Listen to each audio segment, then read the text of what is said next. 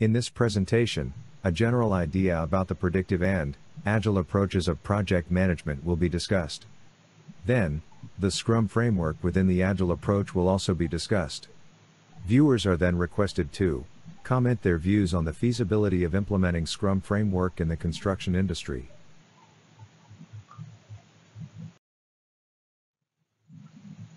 Contents of this presentation are two major project management approaches such as predictive and agile approaches. Then we will discuss the Scrum framework within the agile approach of project management. Then we will look into popular tools used in the Scrum framework. Lastly, we will see how the Scrum framework has been used so far in the construction industry.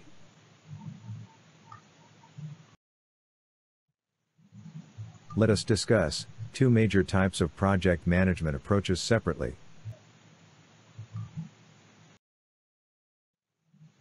Predictive, or waterfall approach of management is used in projects, where we can predict everything upfront.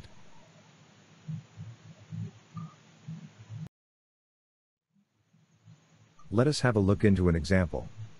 We know that, for any high-rise buildings, civil structure works will be followed by foundation works. MEP works will be followed by structure works and, so on.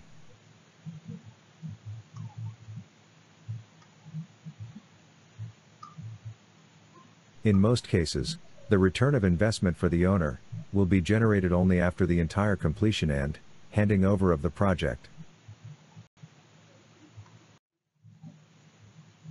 We will now see common processes in a predictive project management approach in the construction industry.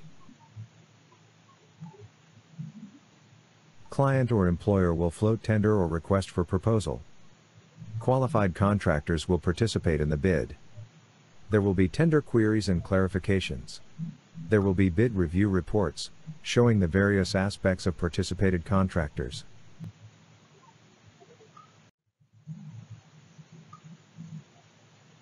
Gauging those aspects, the project will be awarded to the contractor. Contracts are mainly based on FIDIC standard forms of contract. However, please note that some industries are also following other standard forms of contract. Based on the nature of the project, conditions of contract can be based mainly on any of the below. FIDIC Red Book for the projects in which design is done by the client or client representative. FIDIC Yellow Book for the projects in which both design and build is by the contractor. FIDIC Silver Book for engineering, procurement and construction projects and turnkey projects. FIDIC Gold Book for design, build and operate projects.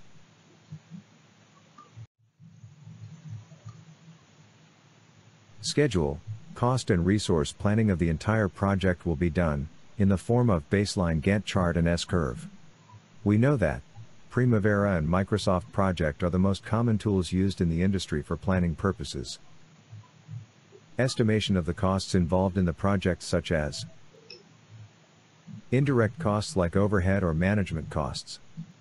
Direct costs like material and labor costs. All other initiation activities such as arranging all necessary insurances, setting of the team, etc. will be carried out at this stage. Any approvals from the client or local authorities shall be obtained before starting any construction activities. Approvals are required for documents such as structural design, soil investigation reports, heat load calculation, etc. Shop drawings, Method statements. Risk assessments. No objection certificates from the local authorities such as civil defense, municipality, etc.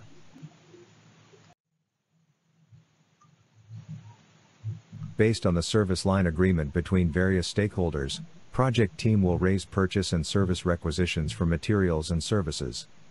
The procurement team will then raise request for quotation or proposal to external suppliers or subcontractors. Once the quotation is approved, a purchase or work order or contract will be issued.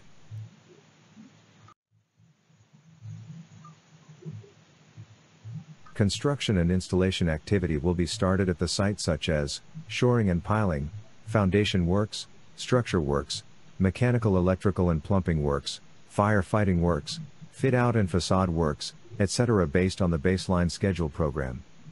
There will be several dependencies between each of the tasks with or without a float such as finish to start, finish to finish, start to finish, and start to start. The sequence of each activity will depend upon these dependencies.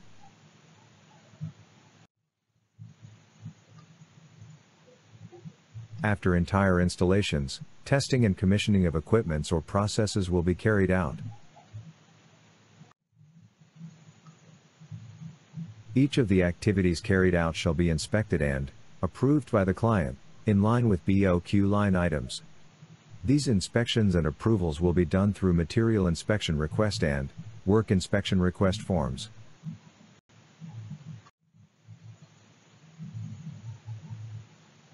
After all necessary inspection approvals and successful testing and commissioning, the project will be handed over to the client including handing over documents such as manuals, as-built drawings, asset details, warranty certificates, testing and commissioning reports etc.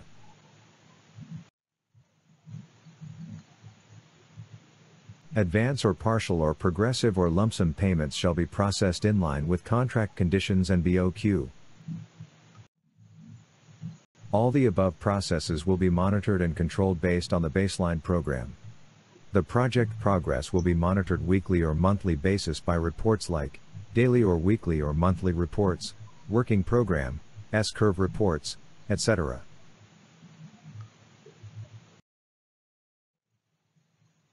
Now, let us look into Agile approach of project management.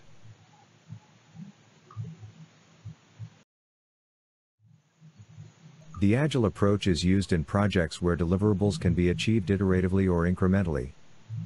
Each increment shall produce a partial return of investment for the client. Unlike the predictive approach, the Agile approach adopts an empirical process rather than planning everything up front. The Agile team is a self-organizing and cross-functional team unlike independent teams in the predictive approach. The Agile approach is responsive to change requests. Whereas in a predictive approach since the scope is well defined, change is not accepted easily especially in the later stages of the project. Having said the above, transparency, Inspection and adaptation are the pillars of the Agile approach. Kanban, Scrum, Extreme Programming are some of the frameworks used within the Agile approach.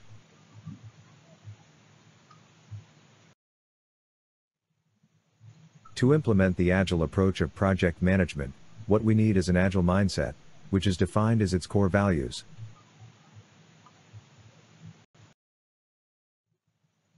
The four Agile values to have an Agile mindset are Individuals and interactions over processes and tools.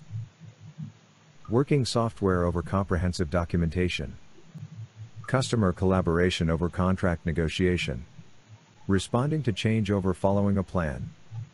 Having said the above, we now know that implementing these agile values in a construction project has challenges due to the conditions of contract in any construction project.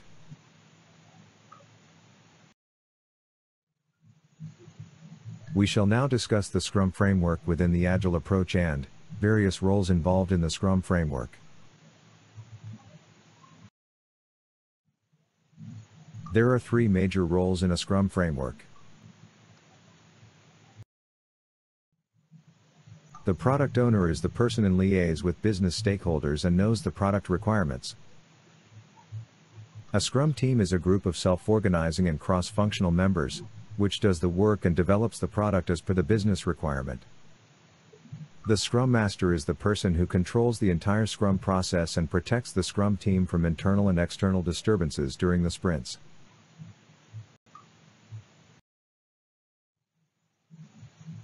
Please note that, in a Scrum framework, there will various iterations of development known as sprints. Each sprint will produce the project deliverables in increments. Each sprint will have a specified duration based on the complexity of the tasks or product. Each increment or few increments together will bring a return of investment to the client.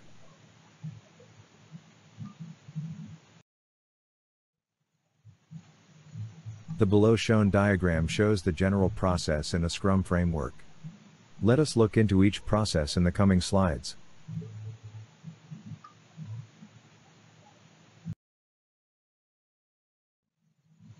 The product owner gets the requirement from the business stakeholder. The product owner then lists the requirements or tasks in the form of a product backlog. Hence, the product owner will always be the responsible person for the product backlog.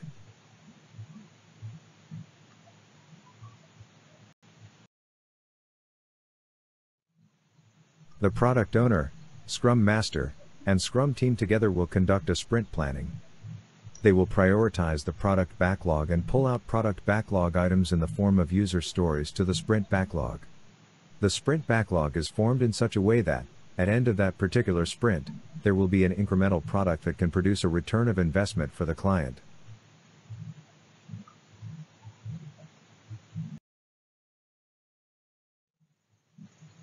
The sprint with a predetermined duration will start after the sprint planning. The Scrum Master will protect the Scrum team from any outside or inside disturbances throughout the sprint. There will be a stand up meeting each day between the Scrum team and Scrum Master, called the Daily Scrum. They will discuss the task done yesterday, task to be done today, and the obstacles the Scrum team is having. The Scrum Master, who is a servant leader, is responsible to sort out these obstacles for the team.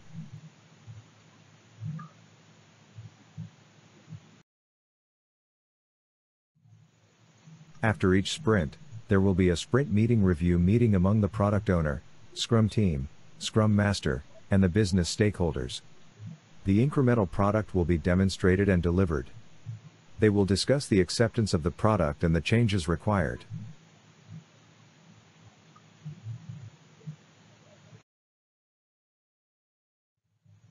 After the sprint review meeting, there will be a separate retrospective meeting between the Scrum Master and Scrum team. They will discuss the positive and negative things that happened in the last sprint. They will discuss the things to be avoided and added in the next sprint.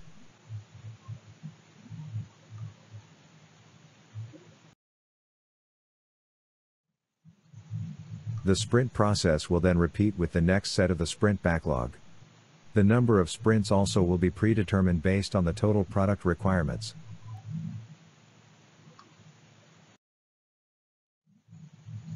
Let us discuss few of the tools commonly used within the Scrum framework.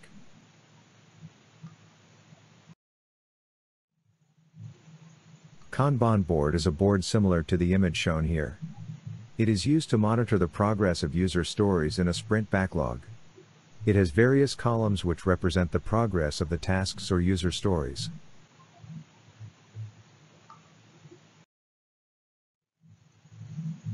Jira is an online tool, widely used within the Scrum framework to control and monitor the project. There are also several other online tools like Rally, Asana, etc.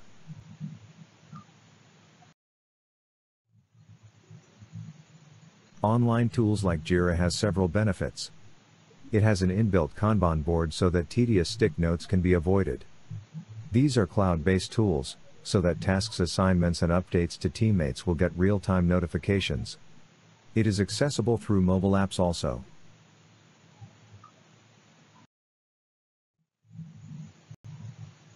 Is the Scrum framework applicable for construction or hardware projects?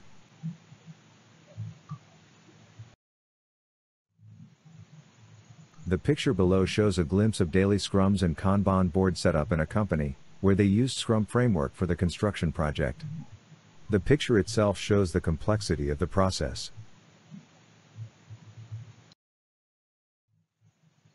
The diagram below shows the setup of the same company, where they used to the Scrum of Scrums. This means that, the Scrum was implemented in separate teams and then, Scrum of Scrums was conducted to collaborate the teams.